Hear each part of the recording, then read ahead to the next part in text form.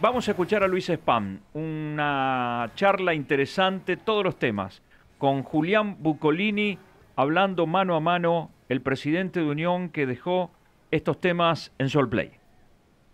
No, no ha sido correcto, nos está pasando. Hubo algún compromiso de no irse libre de unión, pero eh, llevó el caso a una situación de que no, no se pudo nunca concretar eh, un contrato extensivo a pesar de que se le ofreció ser el jugador mejor pago del plantel. Pero bueno. Eso hablamos de Calderón. Sí, pasa en, en los clubes, pasó en Boca, pasó en River, creo que Borré, creo que Almendra, pasó con Talongo en Central.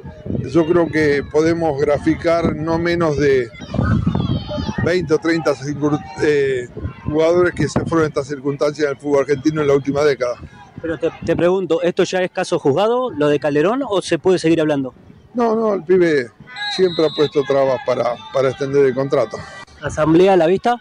Y la asamblea avanzamos en las reuniones con las agrupaciones y no, no pusieron, digamos, eh, predisposición para llevar adelante la asamblea. ¿Va a haber algún... Vamos a tener que darle curso de alguna manera, posiblemente eh, sumemos las dos asambleas pendientes para no eh, agotar con llamados a los a los socios y los socios decidirán, nosotros no somos quienes aprobamos la asamblea o queremos aprobar la asamblea. Quien quiere aprobar la asamblea es el Club Unión. Eh, nosotros somos los, los obligados a, a, la gestión de llamar a esta situación. Y si el Club Unión no logra aprobar la asamblea por decisión de una mayoría, no logra aprobar los balances, nosotros eh, entendemos que es la decisión de los socios.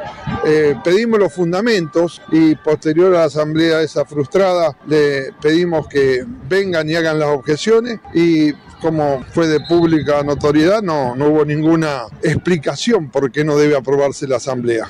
¿Tiene alguna fecha límite eh, por AFA, digo, para, para aquella que ya se, se, venció? No, no tenemos una fecha límite, pero seguramente este año tenemos que eh, llevar a cabo la aprobación de esos dos balances. Luis, eh, hablábamos recién de, de, Esquivel, uno de esos nombres. Se dio a conocer la, la, la, información ya hace un tiempo de una donación que había hecho Lucas con su, con su pase, con su venta. ¿Esto es así? ¿Se puede confirmar? Sí, el porcentaje que él le correspondía por la transferencia lo donó al club. No, no lo anunciamos en su debido momento. Eh, como toda donación surge del corazón y las donaciones muchas veces tienen que tener el carácter de anónimo, porque si no termina siendo una publicidad. Y nunca lo convenimos con él este tema, si darle o no publicidad, y no se había plasmado así, pero dejó íntegramente eh, su porcentaje del pase eh, a nuestra institución. Eh, deben ser unos cuantos millones, es decir, no tengo mal presente, pueden ser algo como 40 o 45 millones de pesos.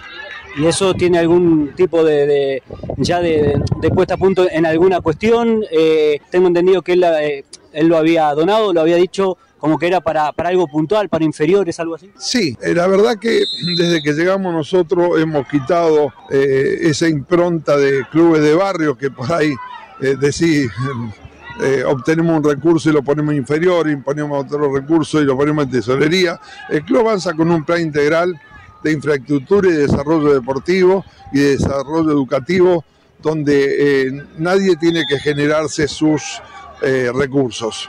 ¿Lo de Ezequiel Muñoz? No, no vale la pena. Eh, cuando se genera un problema no creo que seamos constructivos buscarle las aristas. Ya se aclaró en su momento, eh, no, no, no pudo pasar la revisación física y lamentablemente el representante salió a decir cualquier barbaridad en los medios, cosa el jefe de esa agencia lo suspendió en el vínculo con nosotros y ya hay otra persona atendiendo jugadores eh, que son eh, de nuestra institución y son representados por esta agencia.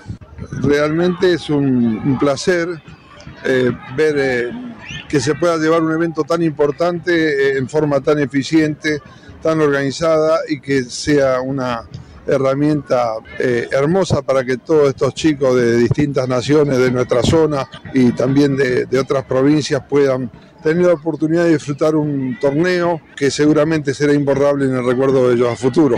Bueno, y también seguramente por, por, el nombre de la institución, ¿no? Porque se utiliza el estadio, se utilizan también eh, el predio que, que Unión eh, trabaja con sus inferiores, eso también cada una de las, de las instituciones que vienen se llevan también algunos recuerdos de, del club.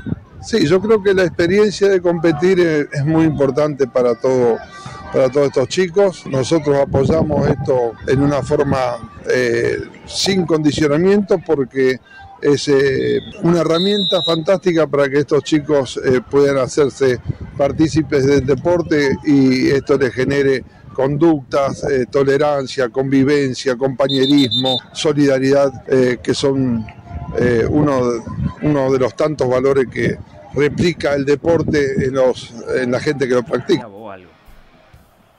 Bueno, ahí estaba la palabra, una síntesis de la buena charla que tuvo Julián.